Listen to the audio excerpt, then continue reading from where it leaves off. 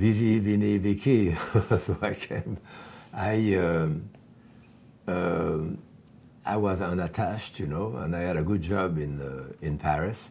And I suppose that most people uh, who come to America come because of uh, usually economic reason to have a better life, or racial reason, or political reason, or religious reason. I didn't have any of those reasons, but America was and still is to a certain extent the, the, the golden fleece, you know, I mean the El Dorado. So I say I want to go there, I spend a year. I didn't intend to stay there. I spent a year on the language. I was excited to come. And uh, from the first day I came to New York, I loved it and never went back. Uh, but I didn't really intend it to, to stay when I first came. When I first came, then I worked at the Pavillon, uh, and uh, as I said, the day after, the chef was Pierre Franey. It was the most, you know, uh, the greatest French restaurant in America at the time, and it would continue to be for a number of years.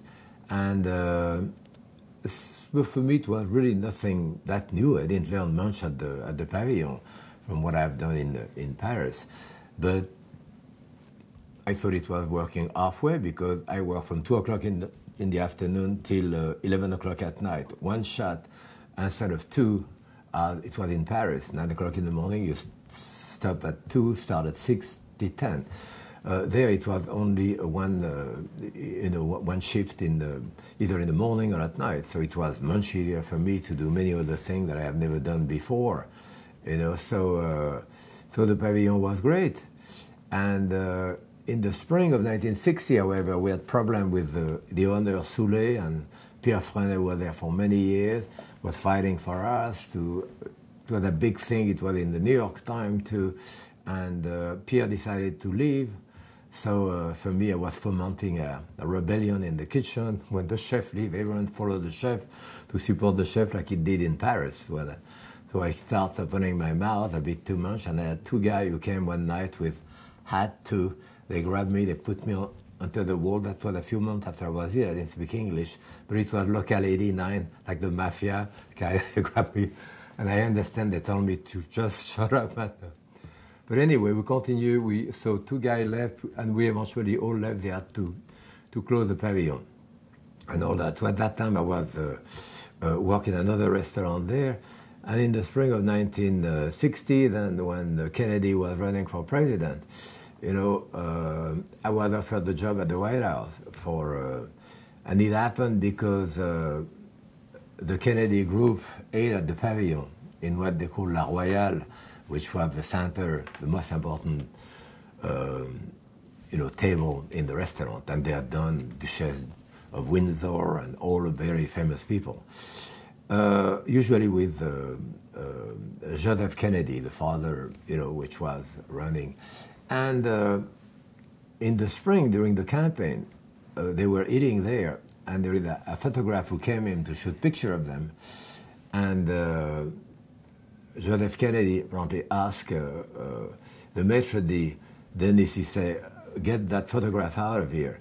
So, uh, and then Soule was the owner of the pavilion, was probably a Republican.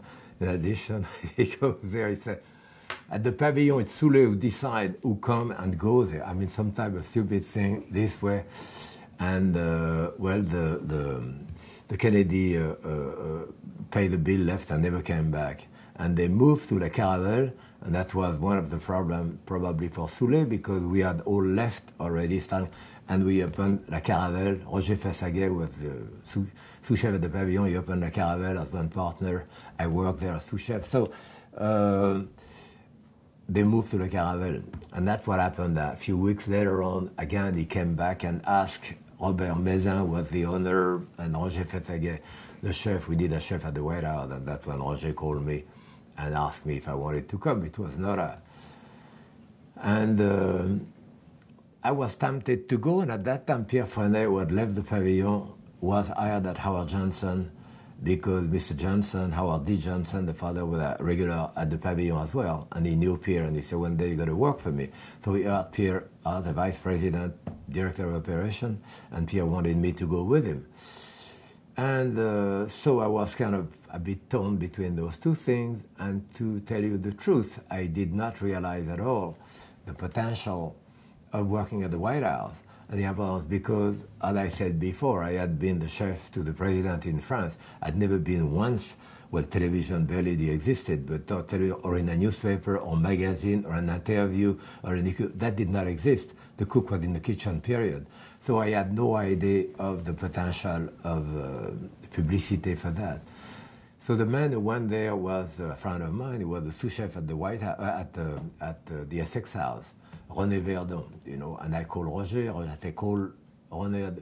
So he called and eventually got the job there for, uh, and it was probably in 64 or 3, whatever, that first time Madame Kennedy Jacques took a picture of her chef with her in the kitchen, and it was early 60s, woman liberation, organic gardening, health food store a lot of social changes, and the role of the chef started changing to a certain extent at that point.